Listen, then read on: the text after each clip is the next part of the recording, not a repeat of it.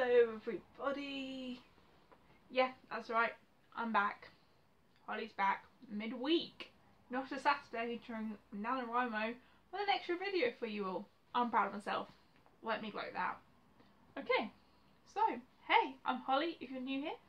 Um, and I have been tagged, I've actually been tagged in a book tag. This is like the best news ever. And I have been tagged by Cam from Wolfshot Publishings for the rainy day book tag. And that and this tag was originally made by that Bookie. Um, I'll leave her original link video also down below. Go check that out as well. Um, as well as I'll leave Cam's video down below. Um, also go check that out. Some brilliant reading suggestions from both. So hopefully I'll be able to give you guys some more brilliant reading sessions. Right, on with the tag. So the first one is pick a book that makes you cry every time you read it. The Fault in Our Stars by John Green. I'm not even going to say anymore. The next question is puddle. Pick a book where the world is set underwater or around water. Now, besides the Little Mermaid books that I read when I was like four, um, I haven't read a book that's in water, which is highly interesting, and I now want to pick up a book that's in water, because why not? Maybe a mermaid adventure. I'm going to have to look into that. If you can suggest any below, please do, um, because that's interesting. So because I don't have a book that's in water, I could pick a book that's around water, and this is We Were Liars. Water on the front cover. Um, this book I'm just going to read the back because you're not meant to know a lot about the book before we start, so i will just read it to you. Um, we were liars, we were beautiful and privileged, we were cracked and broken, a tale of love and romance, a tale of tragedy, which lies, which is truth, you decide. It's set on a um, family's island which they own um, that are very wealthy and it's just an island surrounded by water that they go to every single summer. So that is this one. Next one is a pick a book with a character with a soul.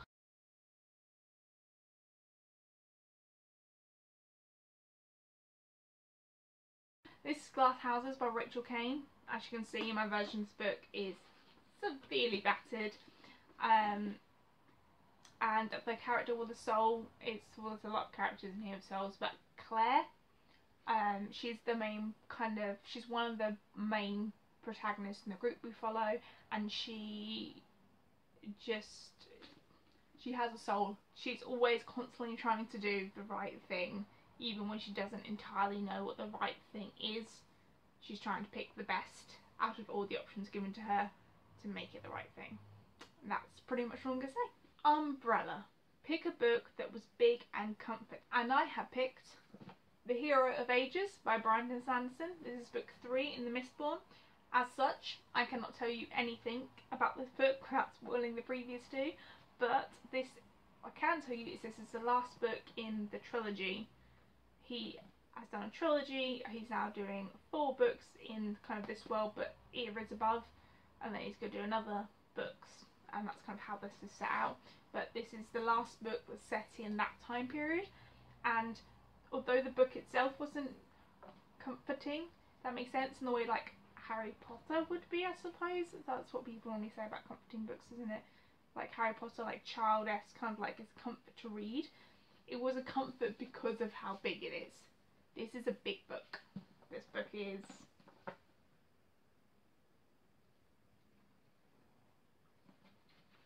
seven hundred 748 pages this book is. It is a big book and that's why it was comforting. It was comforting to know that we had such a big book to read because I wanted to know what's happening with the world. I wanted to, there were so many things happening in this world all at once that was, because it was a high fantasy, this world was so big, so massive, I just wanted to know that when I picked this book up in the bookshop, knowing that they had that many words written up in the book kind of made me feel better in knowing that we might get conclusions to all of these. Whether we did or not, I won't tell you. Pick up the series and read it. Rain and the next one is Rainy Day Movie. Pick a book that was turned into a movie that you like to watch on rainy days. Now for this one, I don't know if it's a little bit of cheap because I haven't actually read the book, but it was um, Pitch Perfect a lot of people don't know, um, I didn't until I watched the credits, that it's based on a book. Um, haven't read the book, not quite sure how that will work. Perhaps I should pick that one day, but it is my favourite, favourite movie of all times. I've watched it well over a hundred times, and I, I don't re-watch or reread things. It isn't something that I do. I don't, I read it, I know the story, that's it, done. Like, I kind of may often think that I want to reread it and then pick it up and go, now I know what's going to happen. Why am I doing this? Um, so the fact that I've watched this literally well over a hundred times, every time I want to do something that I don't want to do, I put Pitch Perfect on the background, I sing along, happy, really enjoy it, but can still do my own work. Coffee. Pick a book that you couldn't get enough of the hot and steamy romance. Pass. Um, I don't know, I don't read a lot of books of hot and steamy romances. This wasn't really a hot and steamy romance in terms of like erotica, like that kind of hot and steamy, but I really enjoy the romance and I'm going to go back to it. And I'm going back to the Glass Houses series. Um, I'm not going to say what relationship, I'm not going to say who, I'm not going to say whatever, but there's at least one, probably two, maybe even three relationships in this book series that work so well and I love them all being together and it's hard and their relationships are hard sometimes and things happen but I was addicted to reading about these relationships and I don't really normally like reading about relationships in books in terms of the books I like to read. I've been very vocal about this on my channel. The books I like to read are stuff where things are happening where it's life or death. Like, you don't need to be worrying about who you're dating if a king's coming towards you with an axe. Like, priorities sort out your life and death situation, then date. But this was done so so well um, that the supernatural aspect of it was their normal everyday life that you have to fit in kind of romance and stuff around it but in a different kind of way than high fantasy would be because it's like an urban fantasy I suppose you'll call it um, so and the love life was weaved in really nicely in my opinion. Again, I am going far back in my memory this. I started reading these when I was 13. So I am going far back in my memory, but I really enjoy it. So, yeah, The Glass House. Poncho. Pick a book with a main character who has an amazing best friend. This one is Echoes by Laura Tisdale. Yeah, so Mallory, codename Echoes 6, Echo 6, um, was talking to Warden on the internet and um, they really helped each other online and helped each other kind of get through kind of different bits and pieces even if they didn't talk about it and they didn't talk about their private lives just kind of being there really helped each other and then something happens I'm not to tell you what something happens and Echo and Warden need each other's help in real life so they meet in real life and then the adventure issues really good it was just the way that they both understood each other, even though they never really ever met each other. They but they did. They met each other online, and that kind of element of it, and how they just kind of were both so caring of each other. It was just a really nice friend, exactly what each other needed, and yeah, that's pretty much. I don't want to give anything away, so I'm not. But yeah, and also look at the cover. Look how beautiful this cover is. Just that has nothing to do with the tag, but it's beautiful. So the next one is Gutters. Pick a book that, that is as dirty and as grimy as you would imagine it. Queen of Shadows Sarah J Maas. You think I could get to the end of a book tag video without reading the only book series I've ever commented on on YouTube? no, no. Um, yeah, so the book series um, is set in kind of a high fantasy type world, um, and as always such as normally slums and stuff, and the slums are as grimy and as dirty as you think they're going to be. We meet the main character, we meet the main character in a slave camp, and that's kind of described, and it's all like a grimy and dirty, and yeah, it's just it's just a really grimy, dirty world. Question answered, Holly. Stop rambling. Cuddly pets. Pick a book that had an out of this world or really enjoyable pet animals in it.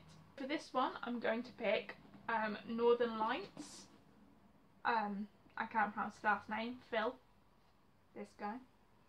Um, and this is kind of a cheat because I'm not really sure what they are. Uh, I know that the main character has moth and it can transform to different things, but a little bit of backstory behind this, I picked this up when I would when I was trying to get into reading, when I really, really wasn't into reading, when I was about 10, I think. But, so I picked it up and I really, really tried, as you can see, I've still got the bookmark in it where I've got to. So I don't really know a lot about that. I remember like 10, 11 year old brain being a bit like, being like really, really enjoying that kind of animal and that kind of side companionship in this novel. Um, and it's something that I do definitely want to pick up again. It's definitely on my list. I think I need to be in the right mood again. And I'm really excited to read this um, when I'm not actually struggling just to read words, let alone form like ideas and images in my head. Reading was something that was very, very hard for me. So I'm kind of really looking forward to picking this back up again at some point.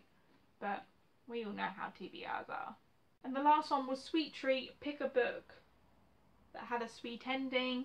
Um, I'm not going to do this one because um, spoilers, obviously. I'm pretty sure probably spoiled something. Uh, hopefully, hopefully I haven't in tags, but there's a lot of spoilers in tags, and I don't want to let anyone know the ending of a book. Whether I don't want to tell anyone the tone of an ending of a book that are thinking of reading, and then be reading the whole entire book knowing it's gonna end sweetly. So I'm going to ignore that one. Sorry. Feel free to add it if you want to. Um, but I didn't watch the the last section of your video, Cam, Sweet Trees. I don't, I don't, I don't want to know what book ends sweetly. Don't want to know. So I stopped here that one. So this was the Rainy Days book tag. Um, thank you for tagging me. I really, really enjoyed it. Really enjoyed doing it. Um, so the three people I want to tag is Meg Talks Life, Green Eggs and Sam, and Books Your Imagination. So I love to hear what books you guys like for rainy days and the answers to all of your questions. And always, as always, if you want to do this and you're looking for a reason to do it, I tag you. You're it. Your turn. Just do it. Have fun. Let me know. Let me know that you've done it. I really like to see the tags and see what everyone else does. So it's brilliant. But thank you for joining me, guys on today where it's trying to rain and then trying to be sunny. So not quite a rainy day but not quite a sunny day either. So thank you for joining me and I will see you all very very soon. Okay, love you all. Bye!